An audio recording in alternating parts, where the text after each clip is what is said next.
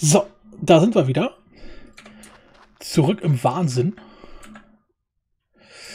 Warum, was war hier los? Halt, halt, stopp, jetzt rede ich. Weg damit. So, jetzt nochmal. Wir waren dabei hier. Als nächstes brauchten wir, ja, wir brauchten eine Schleifmaschine. So, die Schleifmaschine kommt hier. Ah, siehst du? Die wird jetzt auch direkt verbunden. Sehr geil. Kann ich die so hinbauen, dass die, die nach vorne zeigt? Nee, ne? Nee. Okay, gut. Dann muss die Seite. Dann muss halt seitlich stehen. Auch nicht weiter schlimm. Sieht zwar nicht so schön aus, aber ums Aussehen geht sie eh nicht. So, und hier kommt so eine Sorting-Tube hin. So, diese Sorting Tube macht jetzt folgendes. Hier ist die Schleifmaschine. Und die Schleifmaschine macht aus dem ganzen verfickt. Macht aus dem ganzen Cobblestone. Genau, blau. Äh, blau äh, Cobblestone geht nach blau, alles andere geht nach weiß und alles andere geht off. So. Korrekt. Hier ist wieder genau das gleiche. Ähm, alles, was gecobblestone, äh, gegrindet wurde, wird wieder rausgeschickt. Ja gut, hier können wir jetzt kein so ein Ding hinmachen. Aber gut, ist auch nicht weiter schlimm, dann ist es halt so. Ähm, weil es kann ja eh nur ein Block nach da gehen und, und, und dann da geht es ja eh wieder zurück. Also sollte trotzdem performant genug bleiben.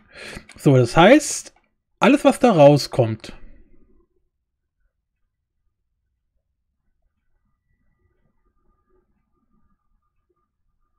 Ich sehe gerade, dass es hier natürlich auch in die Richtung erstmal gehen könnte. Das wollen wir ja eigentlich nicht, sondern eigentlich soll das ja alles in die Richtung gehen. Das heißt, hier müssen wir auch schon so einen Richtungstube reinmachen.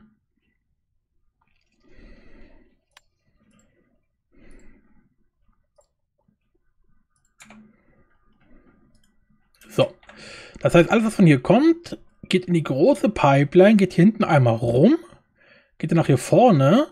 So, und hier beginnt es dann mit dem Zeug. Das heißt, es geht hier lang, wo es Cobblestone ist, geht es hier rein, wird gegrindet, kommt da als Kies raus, geht wieder einmal rum. Genau, geht wieder einmal rum, geht hier wieder rein. Weil es jetzt Kies ist, geht es jetzt hier rein, wird hier gesiebt. Und alles, was gesiebt ist, geht dann hier wieder raus und geht dann hier wieder weiter. So, das heißt, jetzt kommt die nächste Station. Alles, was gesiebt ist, sind entweder Rohstoffe oder aber gesiebtes Zeug. Und alles, was gesiebtes Zeug ist, kommt jetzt in diesen Autocrafter. Wobei hier müssen wir gucken. Genau, genau, genau, nee, nee, genau, genau, ist richtig, genau. Kommt in diesen Autocrafter. Hier müssen wir jetzt aber. Halt, falsche, falsche Seite. Äh, er kommt in den Autocrafter. Das heißt, hier müssen wir wieder sortieren. In den Autocrafter Sorting Tube. In den Autocrafter soll nur äh, das Zeug rein, dieses, dieses gesiebte. Alles andere kommt nach weiß. So. Das gesiebte Zeug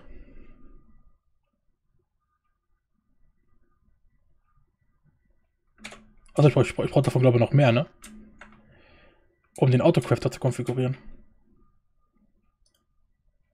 Ich muss die... Also nee, nee, müsste funktionieren. Genau. So. So. Perfekt. Jetzt noch einschalten. Perfekt. So, das heißt, hier wird es automatisch dieses komische äh, Compressed, also dieses, dieses komprimierte Keys äh, erzeugt. Gezeugt. Ähm, und das wird hier wieder rausgeschickt. Und das komprimierte Keys geht auch wieder eine Runde rum und geht dann in den Ofen. So, das heißt, in den Ofen kommt das komprimierte Zeug rein. Alles andere geht weiter nach weiß. Ja. So die Theorie.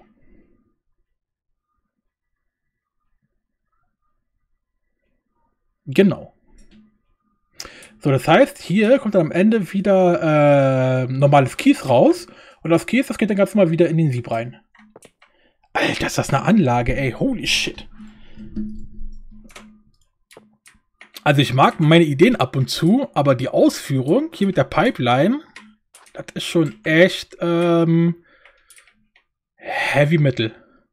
So, das heißt, hier geht's einfach nur da lang. Und jetzt kommt hier nochmal eine Spezialscheiße. Und zwar, alles, was hier verarbeitet werden kann, kommt hier nach Rot. Das heißt, wir haben einmal Kies. Oh Gott, ich mache jetzt mal hier, machen wir erstmal Kies kommt nach unten. Cobblestone kommt nach unten. Dieses gesiebte Zeug kommt nach unten. Und dieses Compressed-Zeug kommt nach unten. So. Das heißt, die vier Sachen gehen bei Rot rein. Alles andere sind also Mineralstoffe, die wir rausgesiebt haben. Gold, Silber, Uran, Diamanten. Und das soll alles nach Schwarz. Das heißt, Schwarz und Rot, alles andere geht aus. So, jetzt müsste in der Theorie alles funktionieren. Also, wir brauchen noch abgeschlossene Kisten. Fällt mir gerade ein. Alter, ich sag euch, das ist ein Genre, Genre, Genre, Genre. Journey. Der Verzweiflung. Ja, wir haben noch Kisten, oder? Ja, ja genau, zwei Stück reicht ja. Passt genau für eine Doppelkiste. Hey, aua.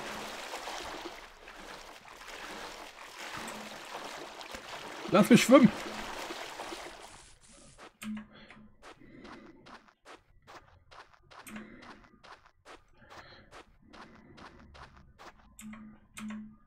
So. Ah, den haben wir ja schon. Da. Bap. Und bap. Sehr geil. Gut, jetzt muss nur noch die Anlage mit Strom versorgt werden. Das heißt, wir müssen hier, hier drunter hier drunter mal kurz weggraben. Ich hatte hier eine Schippe.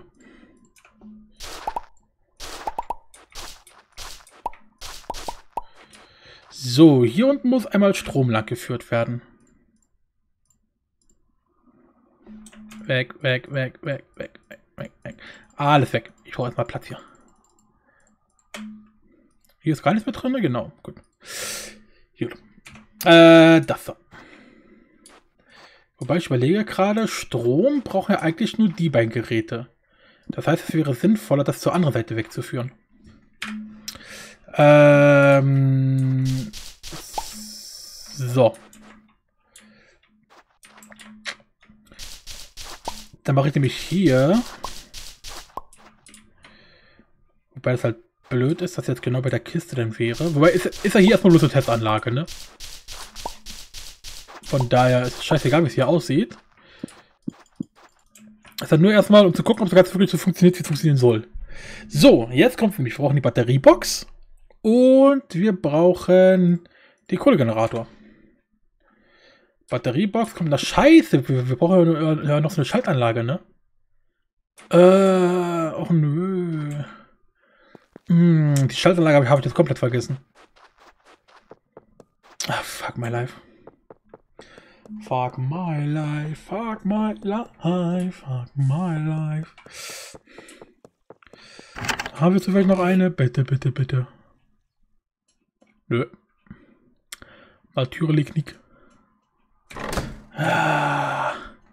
Äh, wie ist das Ding? Konverter, ne? Nein. Äh, Supply. Nein, doch, nein. Ähm. Pff, wie hieß das Scheißding? Hat er immer so einen, bekl so bekloppten, so bekl bekl bekloppten Namen. Switching Station. Ach, leg mich doch.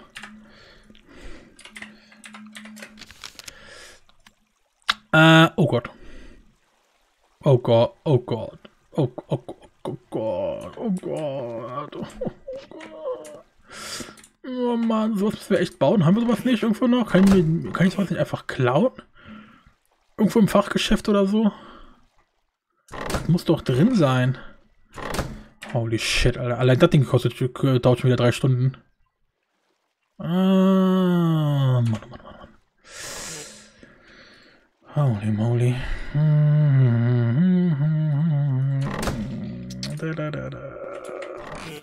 So, was brauchen wir da? Wir brauchen Kupferspule. Kupferspule war Kupfer.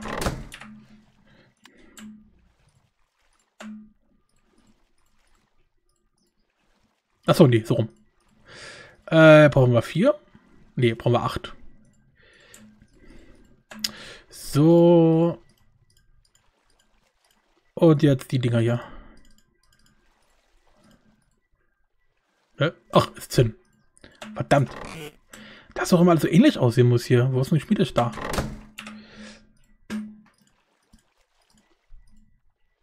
Ah, das war natürlich rein hier. So. So. Okay, jetzt haben wir das. Als nächstes brauchen wir das haben wir und achso, haben wir alles. Oh, ging doch schneller als gedacht. Ha. Kupferwaren haben wir, das haben, brauchen wir. Wir brauchen noch dreimal weißes Kabel. So, oh, das hier. Yay! Oh. Okay, das ging jetzt auch schneller als gedacht. Dachte, wir brauchen sie wieder drei Stunden oder so.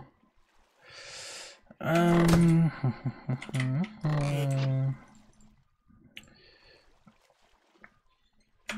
Ja, let's go.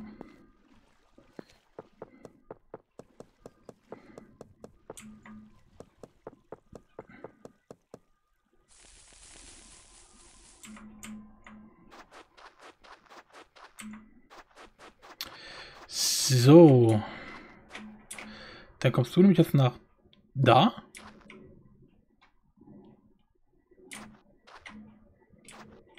Ich mach's, ich mach's mal andersrum. Damit ich besser sehe, was hier beim Akku abgeht.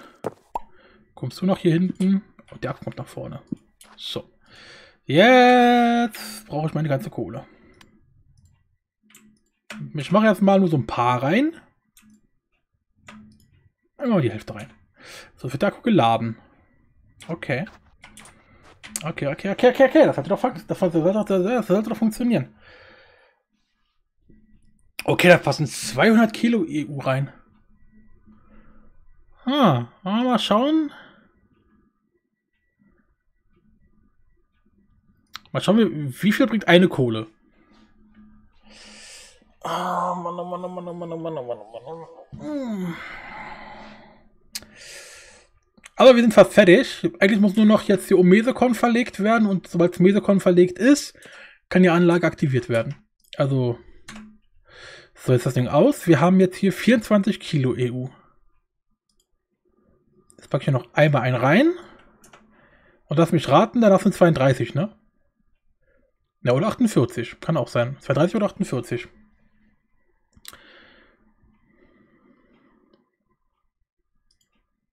Na wohl, doch eher 48. Okay. Das heißt, 1 bringt, äh, was? Jetzt bin ich raus. Doch, genau. Nein. 16? Doch, 16 Kilo müssen es sein. Ja, genau. Okay, eine Kohle bringt also 16 Kilo EU. Das heißt, jetzt müssten es dann 64 sein. So, das heißt 64. Dann bräuchten wir noch äh, 136. Also 128. Und das wiederum bedeutet, wir brauchen noch 8 mal Kohle.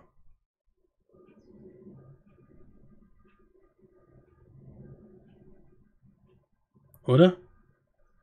8 mal 16? Genau, 8 mal 16 sind 128, genau. Äh, warum sind es mehr als 64?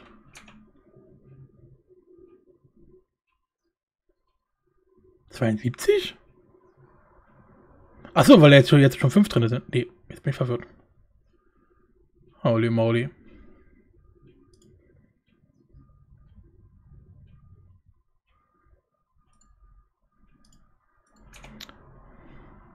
Also verarschen kann ich mich selber.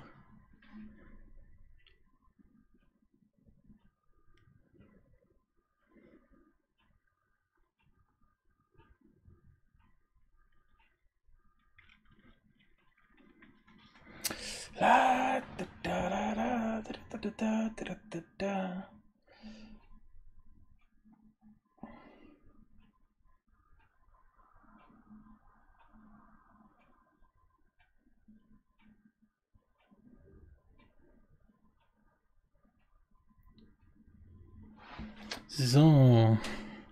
Voila. Ah, 96 haben wir jetzt.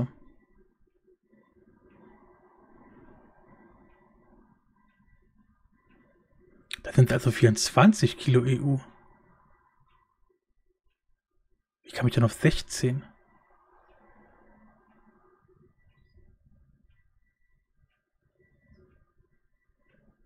Ha. Okay, egal, 24. Das heißt, wir brauchen noch vier Stück. Da sind wir bei irgendwas. I don't know. Ich gebe irgendwann auf. Kein Bock mehr. So, Hauptsache wir haben Energie drin.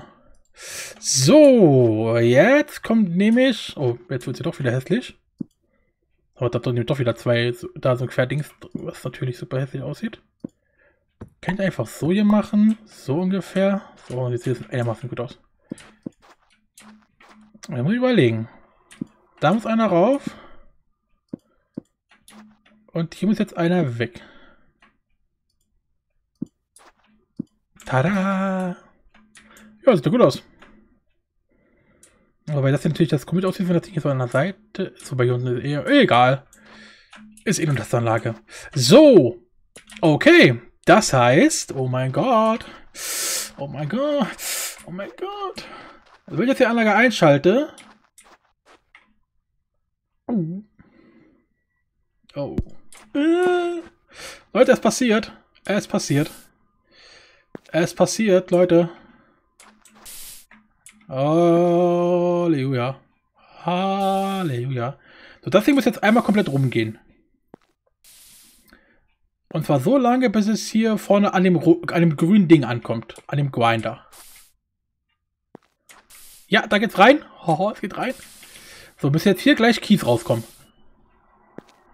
Oh, Leute. Ja, es funktioniert. Holy shit, zweimal Keys.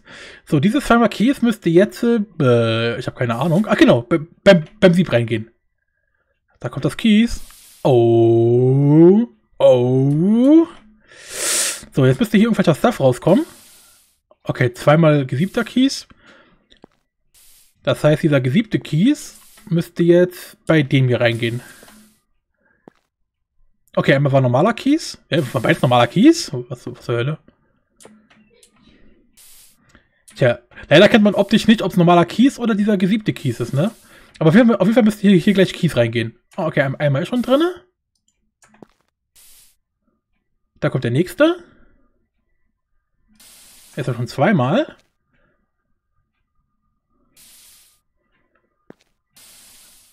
Nochmal.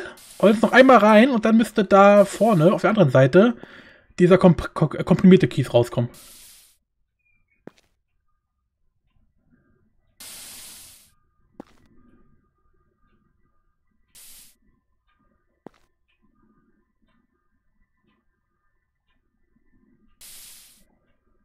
Ah ja.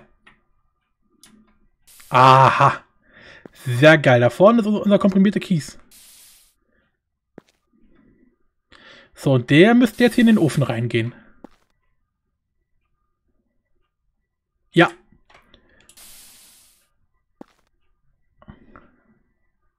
Und da haben wir wieder Cobblestone.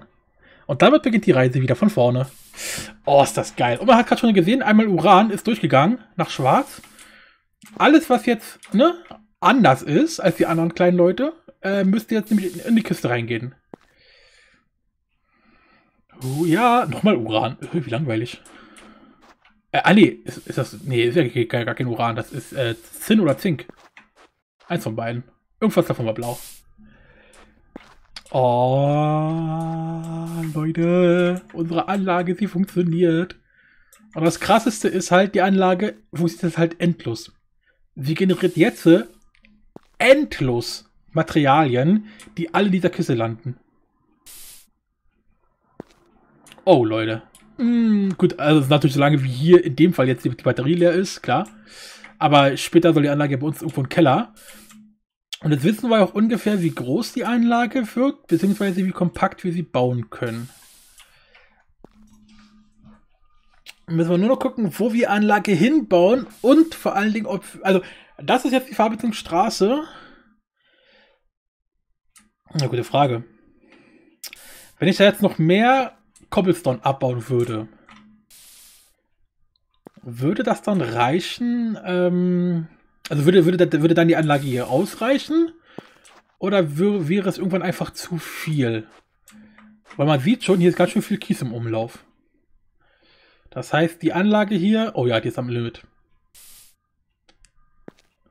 Das heißt, wir, wir, wir produzieren zu viel Cobblestone. So, das, das nächste Problem ist natürlich, wenn ich jetzt hier abschalte, wird die gesamte Anlage abgeschalten. Wir müssten also doch getrennt machen, dass wir einmal da vorne einen Schalter haben und einmal hier hinten einen Schalter haben. Das heißt, ich baue das hier nochmal um. So, die Blume kommt nämlich jetzt hier hinten hin. Das heißt, die Blume gibt hier immer Signal. Also, dass die Anlage immer arbeitet. Aber ähm, gut, jetzt ist hier, hier und dann natürlich zu wenig, zu wenig Platz für weitere Bauarbeiten. Äh, gut, ich mache einfach den... Oh, wie mache ich das am dümmsten? Wenn ich hier das Undding hinbaue, Da.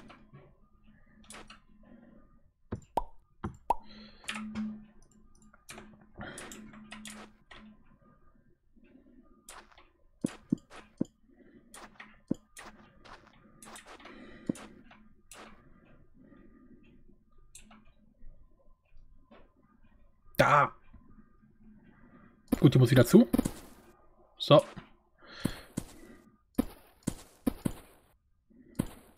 So.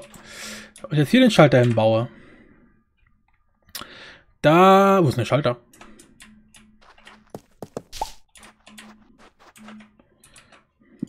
Genau. Ach, so geht's auch. Ja, gut. Da kann ich nämlich jetzt hier die Anlage ein- und ausschalten. Das heißt, ich kann die, ich, ich kann das Nachliefern von Cobblestone deaktivieren, ohne dass damit die Anlage abgeschalten wird. Das heißt, selbst wenn hier nichts mehr nachkommt, wird trotzdem das, was bereits in der Pipeline drin ist, trotzdem komplett verarbeitet. Mit dem Vorteil, dass diese Geräte ja eigentlich nur dann Strom ziehen, wenn sie auch arbeiten. Das heißt, sobald die Pipeline leer ist, dürfte die Anlage auch keinen Strom mehr ziehen. Also dürfte hier keine Energie verschwendet werden. So, die Theorie. Das werden wir gleich sehen, sobald die Pipeline wieder leer ist. Haben wir schon eigentlich drin, ne? Oh, guck mal. Alter, aber wie, aber wie viel Zink man da rausbekommt. Holy shit. Naja, gut, was soll's. Da haben wir keinen Einfluss drauf. Von daher egal. So, warten wir mal, bis die Pipeline wieder leer ist. Oh, oh, oh, wie gut die Anlage funktioniert, wie gut die Anlage funktioniert. Holy shit.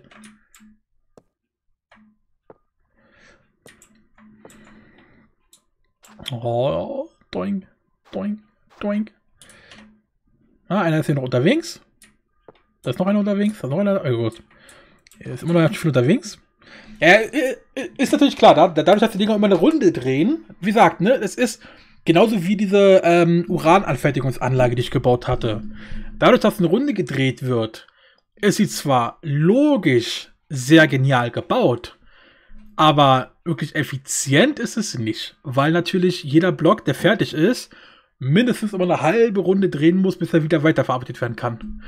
Und deswegen ist das natürlich, was die Geschwindigkeit angeht, natürlich absolut alles andere als gut. aber schön kompakt, schön logisch gebaut, weil du halt, du hast halt einen Hauptkreis, ne? Du hast, hier hast du einen einzigen Hauptkreis und innerhalb dieses Hauptkreises wird alle, äh, also wenn alle Verarbeitungsschritte ausgeführt. Und das ist natürlich so klassisches Bussystem. Ja, ich bin halt Programmierer, so, sorry, ist halt so. Ähm, und ja, das hat halt, halt den Vorteil, dass du halt super kompakt bauen kannst und super logisch. Ähm, nur halt. Oh, Uran. Holy shit. Ähm, was soll ich jetzt sagen? Genau. Nur bis diese Pipeline halt einmal geleert ist, da dauert es halt ein bisschen. Vor allen Dingen, weil halt die Sachen immer wieder gesiebt werden müssen. Das ist natürlich auch ein großer, großer Nachteil. Das ist halt nicht gerade die schnellste Anlage so. Deswegen wäre halt die Frage, was passiert, wenn das hier wirklich einfach, durchweg läuft. Würde denn, denn die Anlage überhaupt hinterherkommen? Oder würde irgendwann einfach hier die Leitung platzen? Das muss ich mal einfach mal so zwischen den Folgen mal ein bisschen laufen lassen. Ähm, und dann mal gucken, was da passiert. Weil ich weiß nicht, ob wir irgendwie einen Puffer einbauen können. Was wir, nämlich, was wir nämlich dann natürlich machen könnten, ist, dass wir irgendwo die Kiste hinstellen, wo die Sachen immer erstmal reinkommen und dann aus der Kiste die Sachen wieder rausgenommen werden und sie wieder in den Kreislauf geschickt werden. Das könnte man natürlich noch überlegen, ob das so sinnvoll wäre.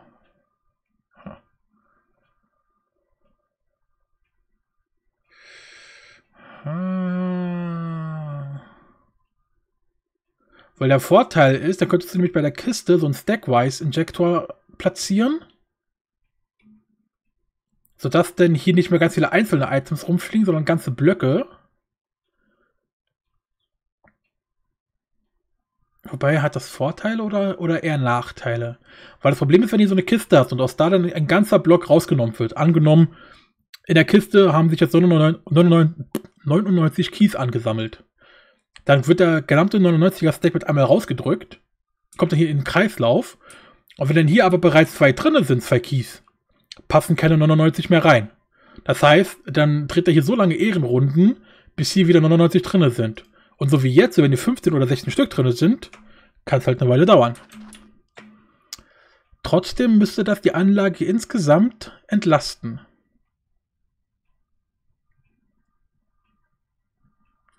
Das könnte man also tatsächlich mal probieren. Das heißt, dass der hier müsste weg. Hier müsste eine Kiste hin, aus einer Doppelkiste. Und hier müsste stattdessen dieser Stackwise Injector hin. Weißt du was? Das machen wir in der nächsten Folge. Probieren wir das mal aus. Alter, die Pipeline ist halt immer noch nicht fertig so. Eieieiei. Naja, das, das liegt halt daran, dass die Wahrscheinlichkeit, dass hier bei, bei dem Sieb Rohstoffe rauskommen, so niedrig ist. Und deswegen braucht es halt so viele Durchläufe. Aber trotzdem haben wir schön schnell schön viele Rohstoffe. Aber immer noch, äh, noch kein Mese und kein, kein, kein Diamant. Ja, naja, ich bin mal gespannt. Ich lasse das Ding jetzt auf, auf jeden Fall zwischen den Folgen erstmal laufen. So. Weil ich mache jetzt mal eine kurze Pause zwischen den Folgen. Ähm, ja, und dann sehen wir uns in der nächsten Folge wieder. Jetzt haben wir, jetzt hört man natürlich immer das ganze Gezische. Ja, hört man immer noch. Na gut. Ähm, ja. Dann ähm, sieht man sich wieder und ähm, sieht man sich. Bis dann.